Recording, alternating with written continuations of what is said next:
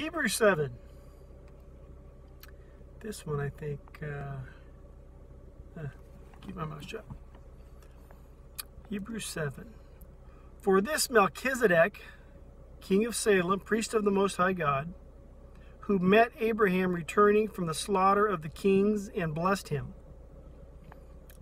Abraham went to battle, came back, ran into Melchizedek, and blessed him. To whom also Abraham gave a tenth part of all, okay, all the proceeds of the um, battle stuff they took, he gave him 10%. Uh, gave a tenth part of all, first being translated King of Righteousness, and then also King of Salem, meaning King of Peace. Without father, without mother, without genealogy, having neither beginning of days nor end of life, but made like the Son of God, remains a priest continually. Now consider how great this man was, to whom even the patriarch Abraham gave a tenth of the spoils. And indeed, those who are of the sons of Levi, who receive the priesthood have a commandment to receive tithes from the people according to the law, that is, from their brethren, though they have come from the loins of Abraham. Meaning they're men. But he who, whose genealogy is not derived from them received tithes from Abraham and blessed him who had the promises. Now, beyond all contradiction, the lesser is blessed by the better. Here, mortal men receive tithes, but there he receives them, of whom it is witnessed that he lives.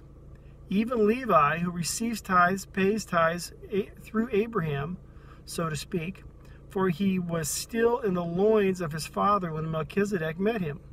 Therefore, if perfection were through the Levitical priesthood, for under, and this is in quote in um, parentheses, for under it the people receive the law.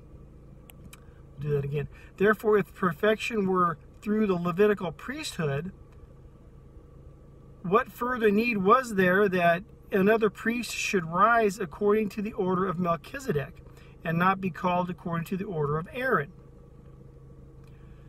For the priesthood being changed of necessity, there is also a change of the law. For he of whom those whom these things are spoken belongs to another tribe, from which no man has officiated at the altar. For it is evident that our Lord arose from Judah, of which tribe Moses spoke nothing concerning priesthood.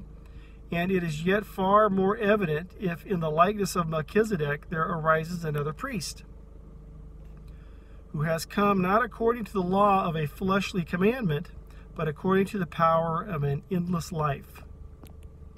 For he testifies, You are a priest forever according to the order of Melchizedek. For on the one hand, there is another annulling of the former commandment because of its weaknesses and unprofitableness. For the law made nothing perfect. On the other hand, there is the bringing in of a better hope through which we draw near to God. And inasmuch as he was not made priest without an oath, for they have become priests without an oath, but he with an oath by him who said to him, Boy, that's a tough one. The Lord has sworn and will not relent. You are a priest forever according to the order of Melchizedek. By so much more, Jesus has become a surety of a better covenant.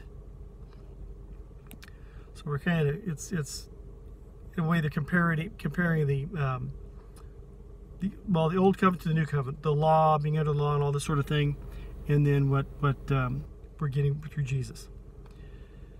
Jesus has become a surety of a better covenant. Also, there were many priests because they were because they were prevented by death from continuing. But he, because he continues forever, has an unchangeable priesthood. Okay. We can't lose that. He's a priest forever. Like he just says, the Lord has sworn and will not relent. You are a priest forever according to the order of Melchizedek. Okay? Once he did the deal and became king, becomes king, cannot be changed. And neither can the, the, this covenant. The covenant, it cannot be, it cannot be messed up.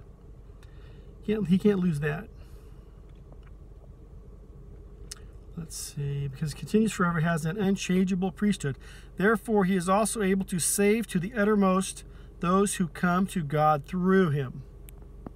He can save the worst of us. Since he always lives to make intercession for them. For such a high priest was fitting for us, who is holy, harmless, undefiled, separate from sinners, and has become higher than the heavens. Separate from sinners. That's what people always go back. Well, didn't he hang out with the tax collectors and the hookers? And but he wasn't hanging out. He was preaching to them.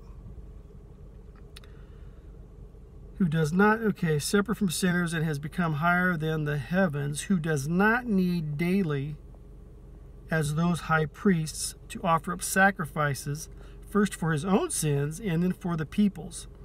For this he did not. He, for, for, this he did once for all when he offered up himself.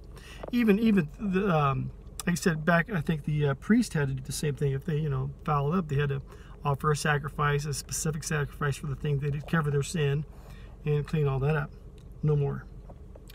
For the law appoints as high priests men who have weaknesses, but the word of the oath, which came after the law, appoints the Son who has been perfected forever. He is our our um, he was our sacrifice. Whereas before they could have got a lamb or thing, depending on what they did, they had this item, and you would sacrifice this at the altar, and that would make you clean. Blah blah blah. We don't do that because we have Jesus. See you tomorrow. Love you. God bless.